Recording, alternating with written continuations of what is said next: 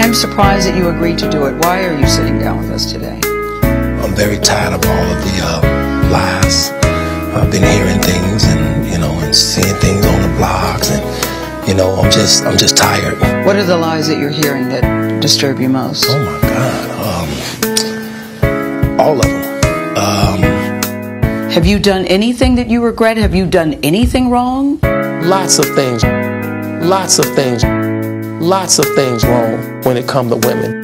Handcuffing people, starving people, starving people. handcuffing people, starving people, starving people, In his mind, everybody's lying. I said, but there's so many people who are telling the same story. And he kept going back, going back. I said, but the women don't know each other. He said, how do you know they don't know each other? On social media, you're connected. He thinks everybody's trying to do a book deal or they're trying to do. All you have to do is push a button on your phone and say, R. Kelly did this to me.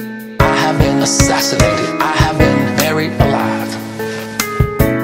But I'm alive. somebody. I'm fearful this guy could hurt himself. I mean, he really, his back is against the wall. He's financially in very serious trouble. He couldn't afford his bail. He couldn't afford afford child support. So today he was arrested on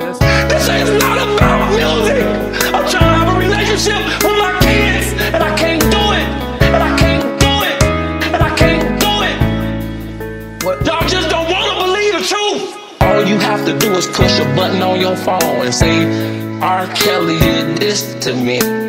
I have been assassinated. I have been buried alive. But I'm alive. I'm so sick of giving Robert Kelly dog get This man constantly and consistently has proven that he deserves all the credit he deserves for being stupid. Okay, if you haven't heard, uh, Robert Kelly sat down for an interview with Gayle King. This is not about music.